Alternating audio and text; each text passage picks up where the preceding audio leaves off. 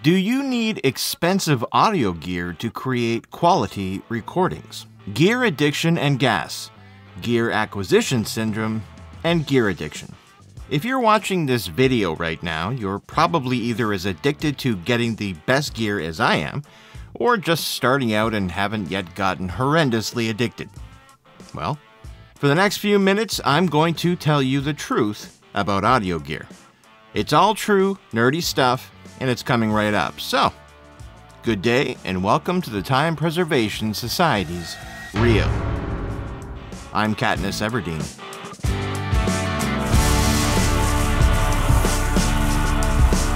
I'm not reviewing anything today. Instead, I'm giving it to you straight with a video version of an advice column.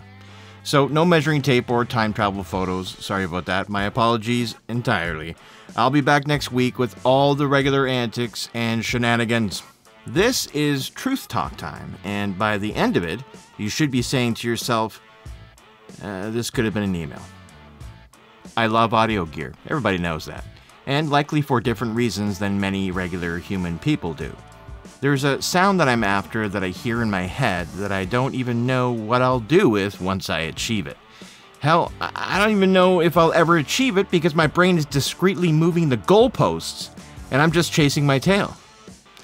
But I'm always after it, and as one traverses the long and winding path up the mountain of audio perfection, it becomes clearer and clearer that it's a never ending goal with an unreachable summit.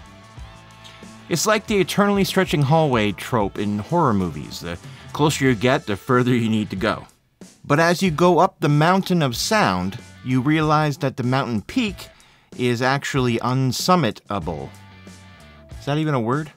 At some point along the way, you have to ask yourself if this is all you need, if you're satisfied with what you have. And for most people, the answer is no. If I could just get that one mic, I'll be set. If I could just get that last preamp, I'll have everything I need. If I could just get that last one guitar, I'll be done. But are you ever done? Nope. Why is that? Why are we never satisfied? Do our tastes change? Were we wrong about all that research we did at the beginning that culminated in the last gear purchase we made that led to the next purchase we should make? Did we not think it through or something? Did, did we forget a few things? Easy mistake. Whatever we need to tell ourselves. No. It's that we haven't learned how to use what we have to get that sound we heard the pros get. It's not the gear, it's the technique and the skill. And also the gear. A little bit. It's a little bit the gear. I'm way too hyper focused and interested in audio in all the forms music, broadcast, podcasts, uh, narration, voiceover, uh, film and TV, production, uh, field recording, sound design, mixing, mastering, all of it. And if I've missed something, include that too because I'm into it. And I've been into it for more than 30 years in one way or another. Most people specialize. I have an audio interest wheel that spins around from month to month and lands on different current audio interests that becomes my hyper focus thing for the moment. So if you're interested in audio and recording, but you specialize in certain application, rest assured, I'm also into it. So it's somewhat about gear a little bit to somewhat. It's somewhat a little bit medium about gear, but only at the top levels. So the question is do you need high end audio gear to compete with everyone else? I mean, do you need a $1,000 Sennheiser 416 boomed into a $200 Rycote shock mount on a $500 C stand attached by a $100 Mogami XLR cable into a $1,000 Sound Devices Mix Pre to start making great YouTube content? No, you do not. Let me put it another way for another type of audio enthusiast. Do you need a, let's say, U87AI into a Mogami cable into a Apollo Twin with an API Vision console into a Mac Pro computer running Pro Tools to make good studio recordings? No, you don't. Can a Rode mic into a Focusrite Scarlett with a free cable into a Dell laptop running Reaper do it? Yes, it can. You have to think from the outside in, like the biggest to the smallest. The biggest thing you need to do to get good microphone audio is the biggest thing you have to do for audio, and that's treat the room you're in. I'm sure you've heard this many times, but your room is like 80% of your sound. If you're recording in a kitchen or a bathroom or you've got all that uncontrolled room reverb happening, it's bad. No matter what, it's bad. And it's tiring to listen to. It causes ear fatigue. It hurts. Or if you're recording a vocal session in a room with hardwood floors and painted walls filled with uh, glass framed artwork, that's bad. There's, there's no fixing it. It's bad audio, even with a U87, especially with a U87. If you're into music recording or spoken word recording with large diaphragm condenser mics and the like, treating your room is the very first thing you need to do and where you should spend your money first. If you're going to spend a bunch of money, do it there first. The next thing you have to worry about is the microphone and the interface or recorder. If you're a musician, you'll want a decent large diaphragm condenser or uh, a dynamic mic or whatever you're using and a proper interface. I'm not big on USB mics, but they'll do. If you're an aspiring boom op, then you'll need a shotgun mic or a small diaphragm condenser and an XLR input recorder. Find cheap but good, like inexpensive but good. They're out there. Find a YouTube reviewer that you trust and listen to them. We're working outside in, remember. And so the next thing is the computer or tablet or whatever you plan to work on, and a decent set of headphones. The last thing you're going to need is the farthest in you can go, which is the DAW or DAW. Any will do, but you'll need to learn it. Really learn what everything does. It takes a while. Test it as much as you can. Just do tests all night long. Just test this, figure out that, do it again, do it again, learn it, become proficient in it. You know, watch all the YouTube videos on it. In fact, watch all the YouTube videos on all the stuff you get. Learn to use it all. Read the instruction manuals, whatever you need to do. So focus your attention from the outside in. That's my advice. Room, mic, into the you know, interface or recorder, and then the software you're going to use after that from biggest to smallest. That's my advice. The uh, important thing to remember with audio production in any form is that the end consumer won't know the difference. They will not know that you used a 416 or a U87. They won't know that you used sound devices or Zoom. They won't know if you used a K-Tek or an Ambient or a newer boom pole. All they know is that it sounds good or bad. No, scratch that. They don't know what sounds good, but they sure as shark know what sounds bad. And this goes for people who listen to music or podcasts or radio or TV or movies or YouTube channels or video games. All of it. If it sounds bad, they'll know. But if it sounds good, they won't even notice. That's because they expect what they're hearing to sound good. Always. However, if you're showing your audio stuff to other audio people, well then, now you've got people who will hear that you used a 416 or a U87 or if you used a Rode NTG2. At this point in my life as an audio guy, I can watch a movie and easily determine if the dialogue editor went with the Sanken COS 11D or the Countryman B6 lav mic or if they're using a 416 or a Schoeps uh, CMIT 5U or an MKH50 boom. I can hear a Shure SM7B or an EV RE20 on a podcast or a radio show. And I'm not unique. This is not a superpower. There are thousands, if not tens of thousands of us out there. Because experience.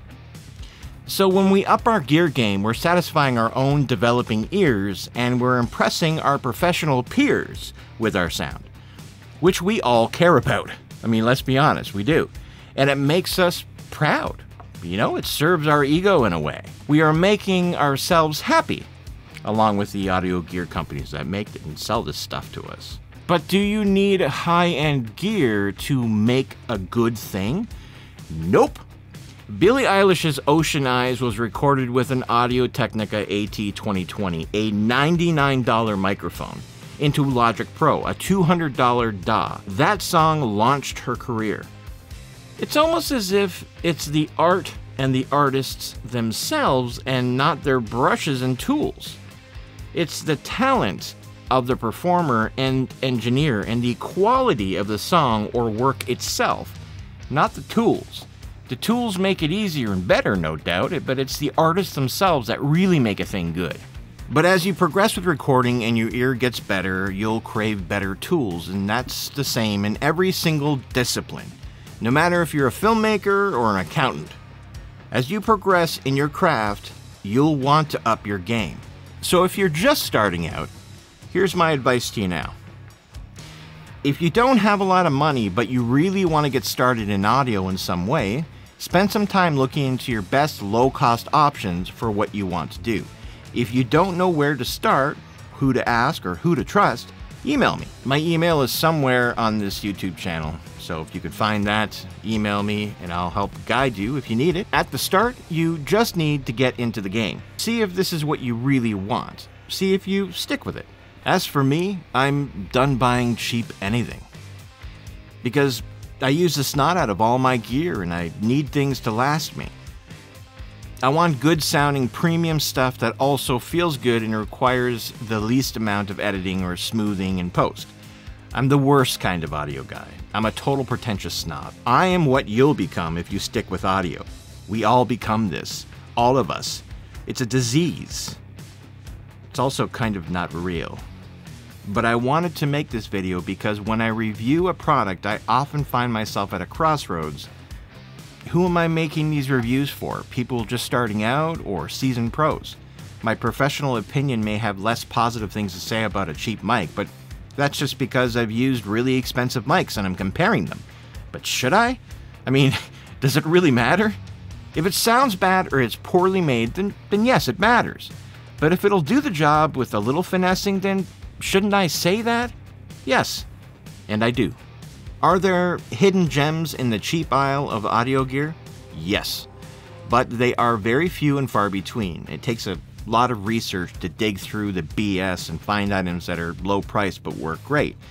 A lot of times it takes more than research, it takes experience. People who have bought or tested the gear and can honestly tell you, but many YouTube videos are not honest. So find someone you really trust to help you decide and listen to them. You know, when you've got your heart set on something that you can afford, and you love the look of it, and you've pre decided that you want it. So then you start looking on YouTube for reviews on it, and that's when the cognitive dissonance sets in. You don't want to listen to the negative reviews because you've already decided that you want it, so you discount them. You only want to hear what you want to hear because you've pre decided that you want it. Don't do that. You need to up your self awareness game and recognize when you're doing that. Be prepared to abandon an idea and change tracks. Open your mind and listen to those who have been there and know what they're talking about. So, yes, I will continue to occasionally recommend higher price gear on my channel because that's where I'm at in my own personal audio journey. But I have to remember that not everyone has been doing this as long as I have, and not everyone can afford what's taken me decades to acquire. I can't even afford what I even have right now. So so I try to remember that when I review products. I'll also let you know that you can always count on me for an honest and unbiased review of products. I'll never sell my integrity for money or gear. If it's bad, I'll tell you. If it's great, you'll be able to tell by my enthusiasm. It's pretty obvious sometimes. I will and have taken free gear to review, but you're getting the truth no matter what, even if that means I've pissed off a company, and I've also done that as well. I will, however, agree to sponsors that may approach me to stick their company name into unrelated videos, but they'll be clearly marked or identified. Hey, I need to generate income somehow, because at the end of the day, we live in a society just like Triangle Circle lives in a society. Triangle Circle, a company at cut above the average shapes, on sale last week. Two things are true. One, the older you get, the less sweet you prefer drinks, and you can do anything with pretty much anything, and the only limit is your own self. Well, I hope this has helped you in your own audio journey, and I wish you luck on your future projects. Just remember, use what you have and start creating. The rest will come. As for me, I stare in the mirror as I try to remember who I am and who I am not. Bye now. In transmission.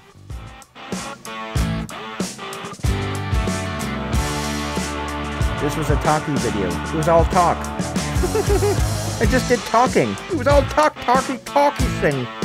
Well, that's good. Goodbye.